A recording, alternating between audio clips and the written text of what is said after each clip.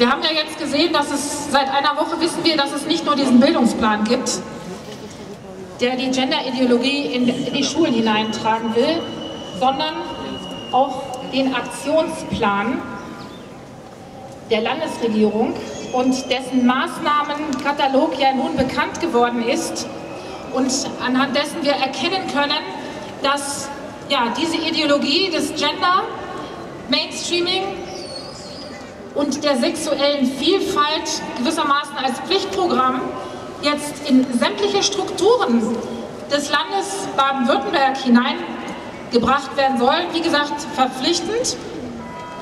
Und das Ganze soll natürlich, das sagt das Sozialministerium, glaube ich, auch selbst auf seiner, Web, auf seiner Webseite, ein Vorreiterprojekt für ganz Deutschland sein.